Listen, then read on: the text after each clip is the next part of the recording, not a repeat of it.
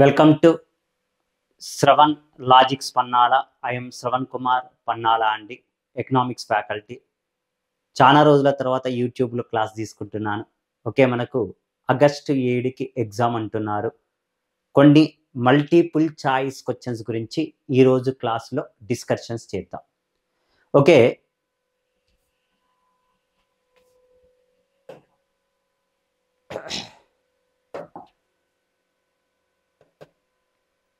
క్రింది వాటిలో.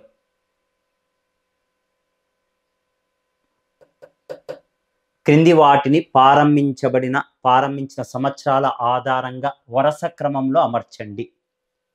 నీతి ఆయోగ్ ప్రణాళికా సంఘము సిఎస్ఓ జాతీయ అభివృద్ధి మండలి. నీతి ఆయోగ్ ప్లానింగ్ కమిషన్ ప్రణాళికా సంఘము ప్లానింగ్ కమిషన్. నెక్స్ట్ వన్ అండి CSO central statistical office or organisation. Next national development council అనేటువంటివి ఇవ్వటం జరిగిందండి. ఈ నాలుగు ఇయర్స్ను బేస్ చేసుకుని వరుస క్రమంలో పేర్చండి అని ఇచ్చాడు అమర్చండి అని ఇచ్చాడు. ఇందులో మనకు మొదటగా ఏర్పాటు చేయబడింది ఇక్కడ ఇయర్స్ వైజ్గా చూసుకున్నట్లయితే రెండు వేల పదిహేనవ సంవత్సరంలోనండి టూ థౌజండ్ ఫిఫ్టీన్ ఇయర్లో నీతి ఆయోగ్ అనేటువంటిది ఏర్పాటు చేయటం జరిగింది. Okay first January two thousand ఫిఫ్టీన్త్న planning commission రీప్లేస్మెంట్లో నీతి ఆయోగ్ అనేటువంటిది ఏర్పాటు చేయటం జరిగింది.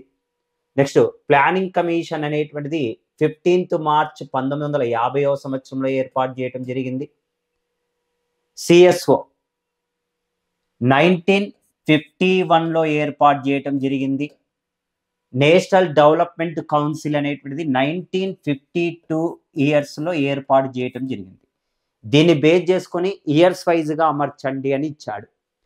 ఓకే ఇందులో కనుక చూసినట్లయితే మనకు ఫస్ట్ ఏర్పడింది ఏదండి అంటే బి ఆప్షన్ రావాలి. ప్లానింగ్ కమిషన్ తర్వాత సిఎస్ఓ తర్వాత national development council NITI Aayog. Second one is the option. Second one is the correct option అవుతుందండి. Second one is the correct answer. Okay ఇది ఇయర్స్ వైజ్గా బేస్ చేసుకొని కొన్ని అమర్చాము. నెక్స్ట్ మరొక ప్రశ్నలోకి పోదాం. ఈ క్రింది వాటిలో సరి అయినవి గుర్తించండి. ప్రపంచంలో ప్రణాళికలను ప్రారంభించిన మొదటి దేశం యుఎస్ఎస్ఆర్. సూచనాత్మక ప్రణాళికలను అమలు చేసిన మొదటి దేశము ఫ్రాన్స్. నిరంతర ప్రణాళికలను జనతా ప్రభుత్వము ప్రవేశపెట్టింది. నీతి ఆయోగ్ చైనాలోని national development and reforms commission ఆధారంగా ఏర్పాటు చేశారు అనేటువంటివి నాలుగు అంశాలు ఇచ్చాడు ఇక్కడ. ఓకే ఇందులో కనుక చూసుకున్నట్లయితే మనకు ఈ నాలుగు అంశాలలో ఈ నాలుగు కూడా సరి అయినవేనండి. ప్రపంచంలో మొట్టమొదటిసారిగా ప్రణాళికలు అనేటువంటి భావనను ప్రవేశపెట్టింది USSR. Union of soviet socialist republic వాళ్ళు దీన్ని ప్రారంభించారు. నెక్స్ట్ సూచనాత్మక ప్రణాళికను ప్రారంభించబడినటువంటి దేశం ఏదండి అంటే ఫ్రాన్స్. మనకు ఎకనామిక్స్లోనండి ఐడెంటిఫికేషన్ చేసుకోండి. ఫ్రాన్స్ అనగానే మనకు గుర్తు రావాల్సినటువంటి అంశాలు ఏమిటండి అంటే ప్రపంచంలో మొదటిసారిగా జిఎస్టిని ప్రవేశపెట్టిన తొలి దేశము ఫ్రాన్సే అవుతుందండి. అదేవిధంగా ప్రపంచంలో తొలి బడ్జెట్ను ప్రవేశపెట్టిన దేశం కూడా ఎవరండి అంటే ఫ్రాన్స్ దేశమే అవుతుంది. సూచనాత్మక ప్రణాళిక మన భారతదేశంలో సూచనాత్మక ప్రణాళికను ఎనిమిదవ పంచవర్ష ప్రణాళికలో ప్రవేశపెట్టడం జరిగింది. ప్రణాళికలలో ప్రభుత్వ రంగం యొక్క వాటా తగ్గి ప్రైవేట్ రంగం యొక్క వాటా పెట్టుబడుల యొక్క వాటా పెరగడాన్ని సూచనాత్మక ప్రణాళిక అంటారు. ఈ ఇండికేటివ్ ప్లాన్ను కూడా ఇండికేటివ్ ప్లాన్ను కూడా ప్రారంభించిన తొలి దేశం ఏదండి అంటే ఫ్రాన్స్ అండి. ఓకే? నెక్స్ట్ వన్ అండి. నిరంతర ప్రణాళికలను మన ఇండియాలో ఎవరు ప్రవేశపెట్టారండి అంటే జనతా ప్రభుత్వం. జనతా ప్రభుత్వము ఉన్నప్పుడు మన భారతదేశంలో ప్రవేశపెట్టబడినటువంటి ప్రణాళికలు ఏం ప్రణాళికలు ప్రవేశపెట్టిందండి అంటే రోలింగ్ ప్లాన్స్ను ప్రవేశపెట్టింది నిరంతర ప్రణాళికలను ప్రవేశపెట్టిన ప్రభుత్వం ఏదండి అంటే జనతా ప్రభుత్వం అండి. జనతా ప్రభుత్వము ఏ ప్రణాళికలను ప్రారంభించిందండి అంటే నిరంతర ప్రణాళికలను ప్రారంభించిందండి. రోలింగ్ ప్లాన్స్ను ఇంట్రడ్యూస్ చేయటం జరిగింది. ఓకే నిరంతర ప్రణాళికలను వాస్తవానికి ఏ ఇయర్స్ మధ్యలో ఉన్నాయండి అంటే పంతొమ్మిది వందల డెబ్బై ఎనిమిది నుండి ఎనభై మధ్య కాలంలోనే కొనసాగాయి. ఐదవ ప్రణాళికను ఒక సంవత్సరం ముందుగా రద్దు చేసి జనతా ప్రభుత్వం ప్రవేశపెట్టబడిన ప్రణాళికలు ఏదండి అంటే రూలింగ్ ప్లాన్స్ అండి. నెక్స్ట్ నీతి ఆయోగ్ చైనాలోని national development and reforms commission ఆధారంగా ఏర్పాటు చేశారు. ఓకే కరెక్టేనండి. అన్ని ఆప్షన్స్ కూడా కరెక్ట్ అయినటువంటివే సరి అయినటువంటి అంశాలుగానే చెప్పవచ్చు. ఇక్కడ కనుక చూసుకున్నట్లయితే నీతి ఆయోగ్ చైనాలోని నేషనల్ డెవలప్మెంట్ రిఫార్మ్స్ కమిషన్ ఆధారంగా. వాస్తవానికి చైనా వాళ్ళు రెండు వేల మూడవ సంవత్సరంలో ఏర్పాటు చేయటం జరిగింది. ఎన్డిఆర్సిని ఆధారం చేసుకుని మన ఇండియాలో నీతి ఆయోగ్ను ఏర్పాటు చేయటం జరిగిందండి. ఇక్కడ ఎన్డిఆర్సి నీతి ఆయోగ్ కంటే చెప్పాలంటే ఇంకెక్కువ ప్రాధాన్యత కలిగి ఉంది. స్థూల ఆర్థిక వ్యవస్థను మొత్తం కూడా ఎవరు నిర్వహిస్తున్నారండి అంటే చైనా దేశంలో ఎన్డిఆర్సి అండి. దీనిని బేస్ చేసుకునే నీతి ఆయోగ్ అనేటువంటిది ఏర్పాటు చేయటం జరిగింది రెండు వేల పదిహేనవ సంవత్సరంలో. అంటే చూడండి అన్ని ఆప్షన్స్ కూడా కరెక్ట్ కరెక్ట్ ఆన్సర్స్ ఏనండి. అన్ని ఆప్షన్స్ అన్ని కూడా కరెక్ట్గానే చెప్పవచ్చు. నెక్స్ట్ మరొక ప్రశ్నలోకి పోదాం. పదిహేనవ ఆర్థిక సంఘము క్షితిజ సమాంతర పంపిణీ హారిజాంటల్ డెవలప్మెంట్ డిస్ట్రిబ్యూషన్ కోసం కేటాయించబడిన ప్రమాణాలు భారాలను జతపరచండి. పదిహేనవ ఆర్థిక సంఘం పదిహేనవ ఆర్థిక సంఘము ఏ ఇయర్స్ నుంచి ఏ ఇయర్ మధ్యలో ఉందండి అంటే మన ఇండియాలో రెండు వేల ఇరవై ఒకటి నుండి ఇరవై ఆరు మధ్యలో కాలంలో ఎన్కే సింగ్ అధ్యక్షుడిగా పదిహేనవ ఆర్థిక సంఘం అనేటువంటిది ఉంది. ఫిఫ్టీన్త్ ఫైనాన్స్ కమిషన్ మనకు ఫిఫ్టీన్త్ ఫైనాన్స్ కమిషన్ ఎన్నో ఆర్టికల్ను బేస్ చేసుకుని ఏర్పాటు చేయడం జరిగిందండి అంటే ఆర్టికల్ రెండు వందల ఎనభై ప్రకారం అండి. ఎన్నో ఆర్టికల్ను బేస్ చేసుకుని ఆర్టికల్ అధికరణ రెండు వందల ఎనభై ప్రకారం ఏం ఏర్పాటు చేయటం జరిగిందండి అంటే ఆర్థిక సంఘాన్ని ఏర్పాటు చేయటం జరిగింది. పదిహేనవ ఆర్థిక సంఘం చైర్మన్ అయినటువంటి ఎన్కే సింగ్ మన కేంద్ర ప్రభుత్వానికి ఎంత వాటా ఇవ్వటం జరిగిందండి అంటే కేంద్రానికి యాభై తొమ్మిది శాతం. దీన్ని వర్టికల్ అంటారండి. రాష్ట్ర ప్రభుత్వాలకు రాష్ట్రానికి ఎంత వాటా ఇచ్చాడండి అంటే రాష్ట్రానికి నలభై ఒక్క శాతం. ఈ నలభై ఒక్క శాతాన్ని ఎన్ని రాష్ట్రాలు పంచుకోవాలండి అంటే ఇరవై ఎనిమిది రాష్ట్రాలు పంచుకోవాలి. దీనిని హారిజాంటల్ అని అంటారు. మరి ఇక్కడ మనకు నలభై ఒక్క శాతము వాటాను ఇవ్వటం జరిగింది. ఆ వాటాను కొన్ని అంశాలను ఆధారం చేసుకొని రాష్ట్రాలకు పంపిణీ చేయటం జరుగుతుంది వాటాలను నిధుల వాటాలను. ఇందులో భౌగోళిక ప్రాంతానికి పదిహేను శాతం ఇచ్చాడు. కరెక్టేనండి. అదేవిధంగా జనాభాకు కూడా పదిహేను ఇచ్చాడండి. నెక్స్ట్ అడవులు మరియు జీవావరణానికి పది శాతం ఇచ్చాడు. ఆదాయ వ్యత్యాసానికి నలభై ఐదు శాతం ఇచ్చాడు. చూడండి ఏ బిసి అనేటువంటిది ఏ వందానికి ఉండాలి. బి టూ దానికి ఉండాలి. C three. First option is the correct. Twelve point five percentage అనేటువంటిది దేనికి వచ్చిందండి అంటే చెప్పాలి అంటే డొమోగ్రఫికల్గా చేంజెస్. జనాభా వర్గీకరణలో మార్పుకి పన్నెండు పాయింట్ ఐదు ఇచ్చాడు. నెక్స్ట్ వన్ అండి ట్యాక్సెస్ ఎఫెక్ట్స్ అనేటువంటి దానికి. కోశ ప్రభావము మరియు పన్నుల గురించి అయితే టూ పాయింట్ ఫైవ్ పర్సెంటేజ్ ఇచ్చాడు. అతి తక్కువ భారము ఇవ్వటం జరిగిందండి. First one is a correct answer okay next one అండి. మరొక ప్రశ్న గురించి చూద్దాం. పదిహేనవ ఆర్థిక సంఘము రాష్ట్రాలకు ఇచ్చిన నిధుల వాటా ఆధారంగా చేసుకుని క్రింది రాష్ట్రాలను అవరోహణ క్రమంలో అవరోహణ ఆరోహణ క్రమంలో అన్నాడు. అమర్చండి అని ఇచ్చాడు. ఆరోహణ క్రమంలో. గోవా సిక్కిం ఉత్తరప్రదేశ్ బీహార్ నాగాలాండ్ అనేటువంటిది ఇవ్వటం జరిగింది. అత్యధిక వాటాను గనక చూసినట్లయితే ఇక్కడ ఆరోహణ అంటే ఏంటండి కింది నుంచి పైకి అని అర్థం అండి. అతి తక్కువ వాటా ఎవరికి ఇవ్వటం జరిగిందండి అంటే three point eight six percentage తోటి గోవాకు అతి తక్కువ వాటా అనేటువంటిది ఇవ్వటం జరిగిందండి. ఎన్నవ ఆర్థిక సంఘం అండి అంటే పదిహేనవ ఆర్థిక సంఘం అండి. అదేవిధంగా సిక్కింకి ఎంత వాటా ఇచ్చాడండి అంటే three point eight eight percentage మూడు పాయింట్ ఎనిమిది ఎనిమిది శాతం వాటా ఇవ్వటం జరిగింది. ఉత్తరప్రదేశ్కి యూపీకి అత్యధిక వాటా ఇవ్వటం జరిగింది. సెవెంటీన్ పాయింట్ నైన్ పర్సంటేజ్ అండి. బీహార్కి పది పాయింట్ జీరో ఫైవ్ పర్సంటేజ్ ఇవ్వటం జరిగింది. నాగాలాండ్కి ఫైవ్ పాయింట్ సిక్స్ పర్సంటేజ్కి పైగా ఐదు పాయింట్ ఆరు తొమ్మిది. అతి తక్కువ వాటా వచ్చింది ఎవరికండి అంటే గోవా. ఏ ఉండాలి? తర్వాత బి ఉండాలి. తర్వాత ఈ ఉండాలి. ఏ బిఈ తర్వాత ఏది ఉండాలండి అంటే డి ఉండాలి. A B E D C okay third one is the correct answer. ఆల్టర్నేట్గా కనుక చూసుకున్నట్లయితే తక్కువ అన్నాడు. ఆరోహణ. అవరోహణ అయితే మళ్ళీ ఉత్తరప్రదేశ్ అయ్యేది. ఓకేనండి? ఇది దీనికి సంబంధించినటువంటిది.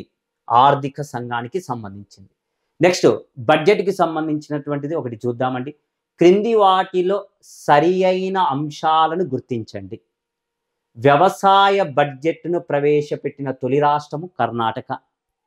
మన బడ్జెట్లో రుణాలు ఇవ్వటము అనే అంశము రెవెన్యూ వ్యయానికి సంబంధించింది. థర్డ్ ఆప్షన్ సి ఆప్షన్ మన బడ్జెట్లో పెట్టుబడుల ఉపసంహరణ అనే అంశము మూలధన రాబడికి సంబంధించింది. నెక్స్ట్ రెండు వేల పదహారవ సంవత్సరంలో FRBM. BM act physical responsible budget management act విత్త బాధ్యత బడ్జెట్ నిర్వహణ చట్టం పనితీరుపై సమీక్ష చేసినది వైవి రెడ్డి అని ఇచ్చాడు.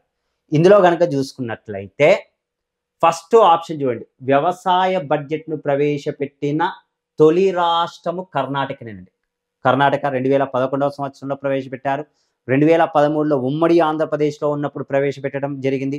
ఇప్పటికి కూడా ఏపీలో ఆంధ్ర ఆంధ్రాలో ఇప్పటికి కూడా వ్యవసాయ బడ్జెట్ను సపరేట్గా ప్రవేశపెడుతున్నారు. కానీ తెలంగాణలో వ్యవసాయ బడ్జెట్ లేదండి.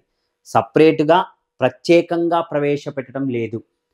ఓకే మన బడ్జెట్లో రుణాలు ఇవ్వటం అనేది రెవెన్యూ వ్యయానికి సంబంధించింది. కాదండి ఇది మూలధన వ్యయానికి సంబంధించిందండి. మూలధన వ్యయముకి సంబంధించింది.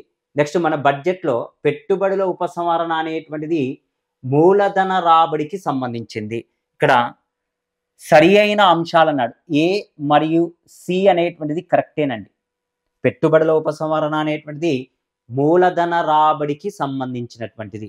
మార్కెట్ రుణాలు అప్పులు ఇవన్నీ కూడా దేనికి సంబంధించినాయండి అంటే మూలధన రాబడికి సంబంధించింది నెక్స్ట్ రెండు వేల పదహారులో ఎఫ్ఆర్బిఎం యాక్ట్ పనితీరు మీద సమీక్ష చేసింది ఎన్కే సింగ్ అండి. వైవి రెడ్డి కాదు ఎన్కే సింగ్ గారు చేశారు. ఎన్కే సింగ్ గారు చేశారు అంటే ఏ మరియు C is a correct answer A మరియు C is a correct answer option fourth one is a correct answer next ఇంకో ప్రశ్న చూద్దాం.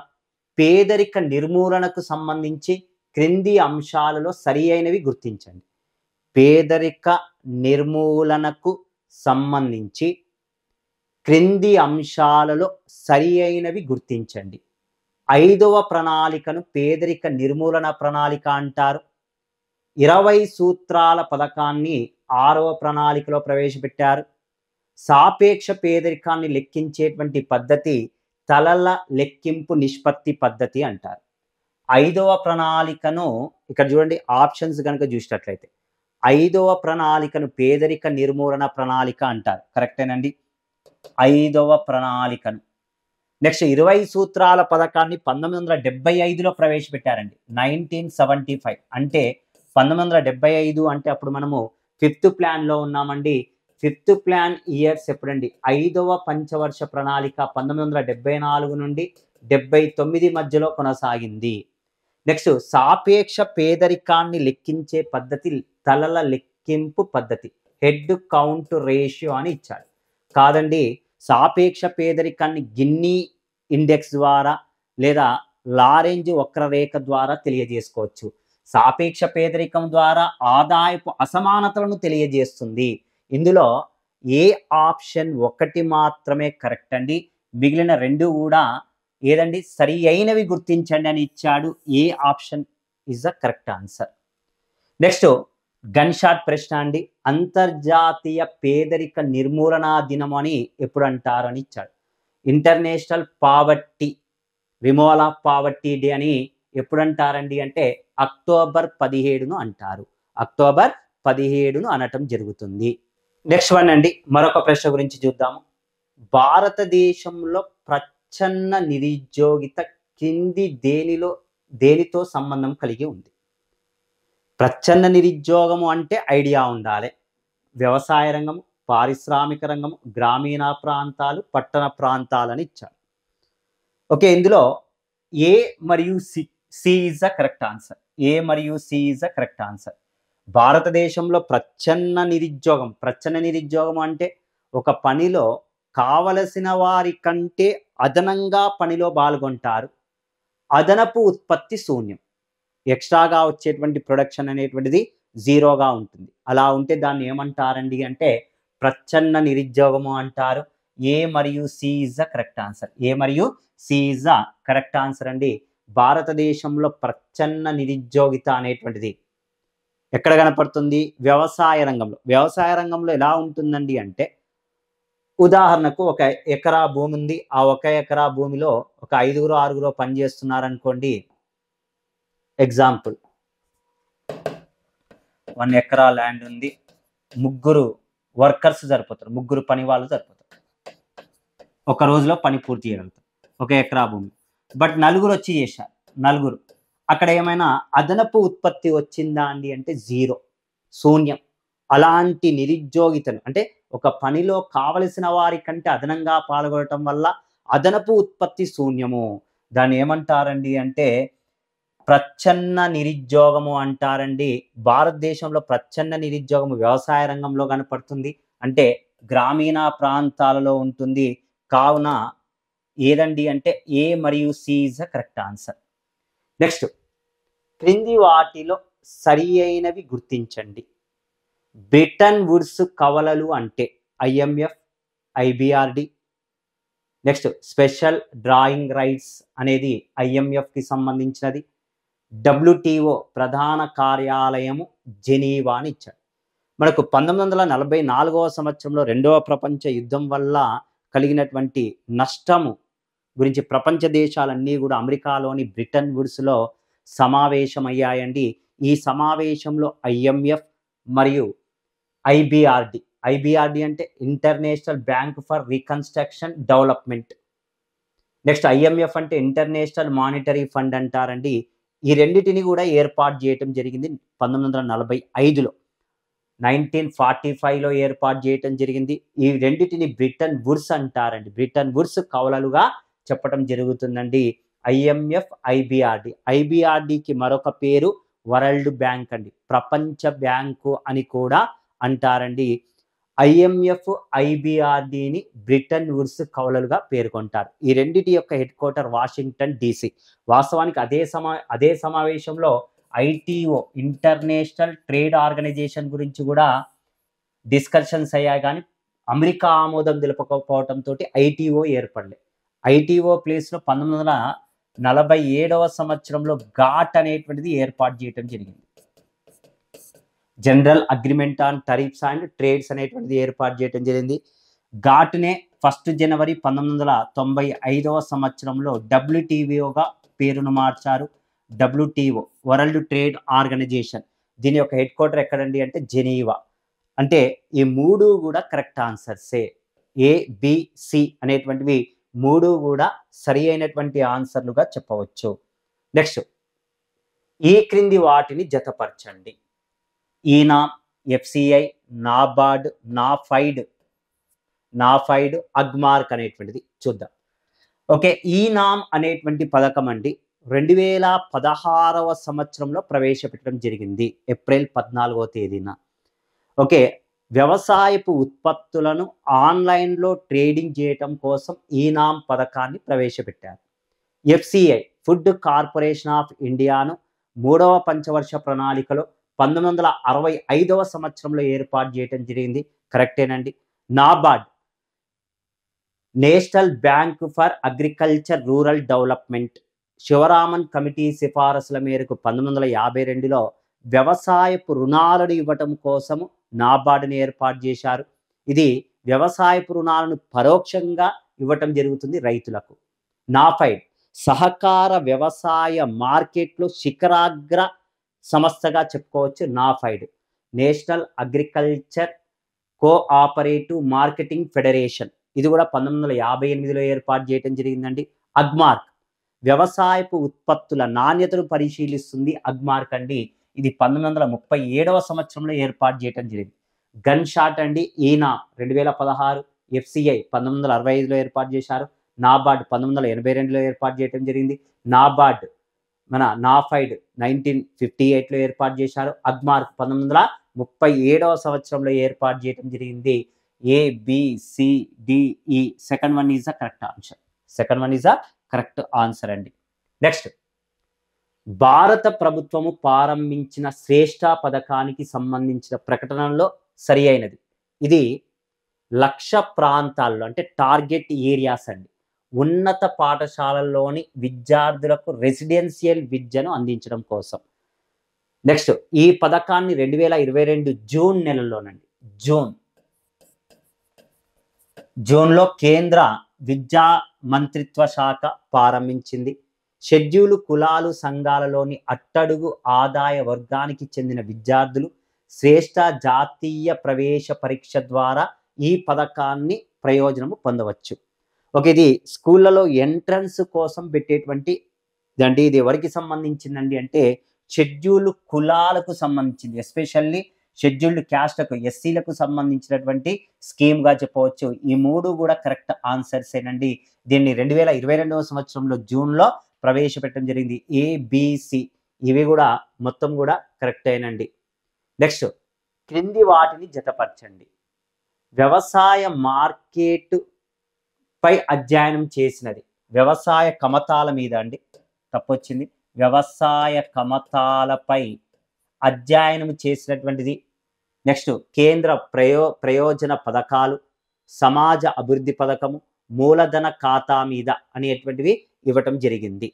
ఇక్కడ చూసినట్లయితే మనకు వ్యవసాయ కమతాల మీద అధ్యయనం చేసింది ఎవరండి అంటే కేఎన్ రాజన్.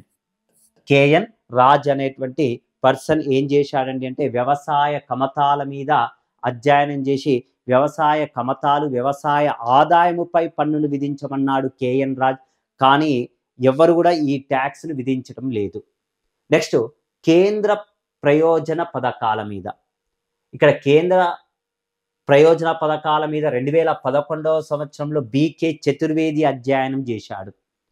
రెండు వేల పదిహేనవ సంవత్సరంలో కూడా నీతి ఆయోగ్ వాళ్ళు ఒక కమిటీని ఏర్పాటు చేయటం జరిగింది. కేంద్ర ప్రభుత్వ పథకాల మీద అధ్యయనం చేయమని అప్పుడు మాజీ ముఖ్యమంత్రి అయినటువంటి రెండు వేల పదిహేనవ సంవత్సరంలో ముఖ్యమంత్రి అయినటువంటి శివరాజ్ సింగ్ చౌహాన్ మధ్యప్రదేశ్ ముఖ్యమంత్రి అప్పుడు కేంద్ర ప్రభుత్వ పథకాల మీద అధ్యయనం చేశాడు.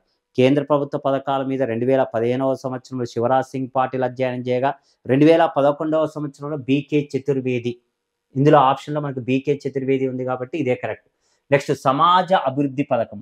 కృష్ణమాచారి కమిటీ సిఫారసుల మేరకు నైన్టీన్ ఫిఫ్టీ టూ అక్టోబర్ రెండవ తేదీన ప్రవేశపెట్టారు.